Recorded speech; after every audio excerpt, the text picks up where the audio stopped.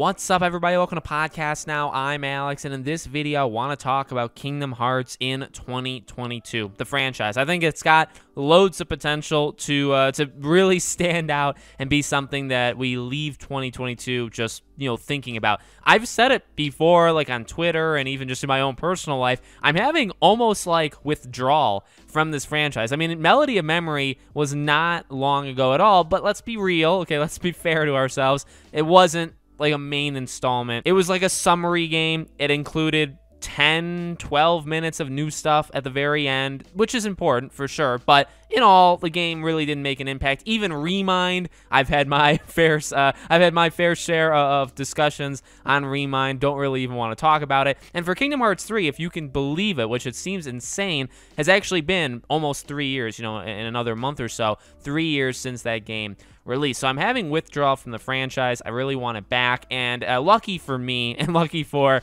the Kingdom Hearts fans, no, I think 2022 is going to be that year. Um, not necessarily, in fact, I don't think at all, when we're going to get a new game, but when I do think we're going to get an announcement for a game, right? Uh, now, there's more to Kingdom Hearts in 2022, like the, the, the mobile games. I'm not necessarily going to talk about those in this video, but I do just want to mention them that, you know, like I know they exist. I know there's things ongoing with them. Like there's going to be more stuff than just the announcement of a base, you know, franchise game of Kingdom Hearts um, next year. But I kind of just want to talk about that one.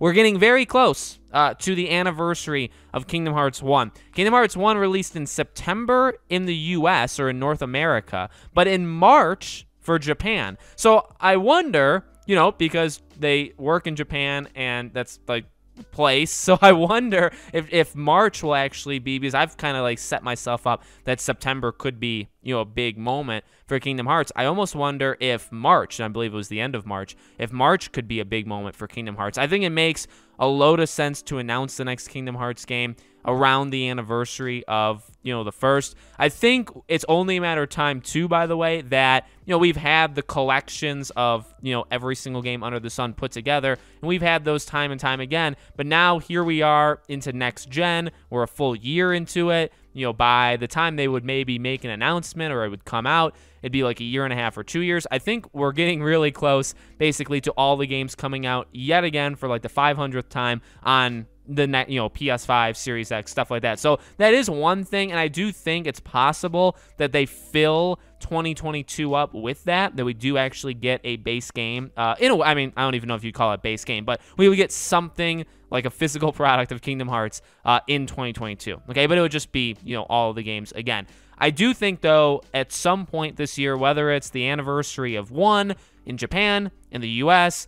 E3, uh, Square Enix presents, whatever, I do think we're going to get an announcement of the next base Kingdom Hearts game. And I really struggle to say it would be 4, Kingdom Hearts 4, but I'm, I would not rule it out. I mean, we've talked about it before. 3 did really well sales wise. I feel like the pressure would probably be on to duplicate that. I think your best bet to duplicate it would obviously be a numbered installment, right? But us Kingdom Hearts fans know, right? It's all the game the games are all equally as important okay? Like a dream drop distance or birth by sleep you could argue is just as important if not more important than like a you know kingdom hearts 2 or 3 so you need those games as well uh, well i don't know if you need them but Nomura has made it so that we need them. And uh, i really think we could get an announcement of one of those this upcoming year. Like i said i don't i don't think uh, it would release this upcoming year. And honestly you know it, it's pretty confusing, at least to me, how the studios that are working on these games work and Nomura's job just in general. Obviously, he has his hands on a bunch of different projects. I'm not going to pretend to know how things work there um, because I would like to say, like, well, is the team, like, what's the team that worked on three? Doing? And then, but like, is there any other teams? Do they have more than one that works on Kingdom Hearts? Like, how exactly does it work? Because again, I mean, like it or hate it, it has been three years since Kingdom Hearts 3, and then Remind, uh, obviously, a, a, bit later, and Melody of Memory, obviously, even later still. But, you know, what are these individual, you know, people that are working on these games? What have they been making? I really think 2023 could be the year that we get, like, the next big Kingdom Hearts game. I don't think that's all that far fetched. It may be hard to imagine for us that have waited or did wait as long as we did for Kingdom Hearts 3, but again, in between two and three, we got a lot of other games. It wasn't just it wasn't literally just a an area of darkness and misery in between those two. We got a lot of other stuff. So really, it's been enough time for sure.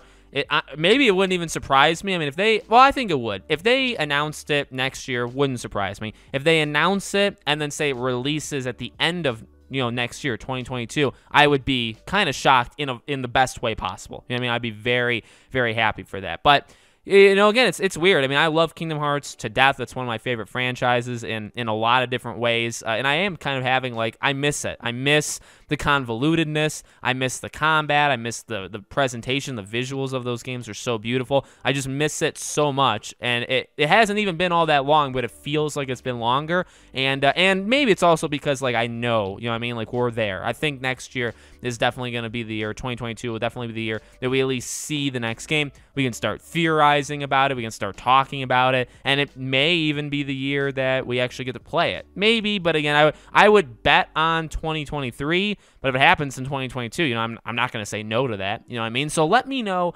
what you guys think in the comments below. What do you think gets announced? You think it's uh Birth by Sleep 2 or Dream Drop, or maybe it's Kingdom Hearts 4. So let me know what game you think it'll be, if it releases next year or not, in the comments. Make sure you're all subscribed, bell icon turned on. As soon as there's stuff Kingdom Hearts, you know I'll be covering it quite a bit on the channel. If you want to follow me anywhere else, I have a Twitter, I have a second channel. I also have Patreon and YouTube memberships if you guys want to support us there. Links are in the description below for all of them. Thank you for watching, guys, and I hope to see you all on the next video.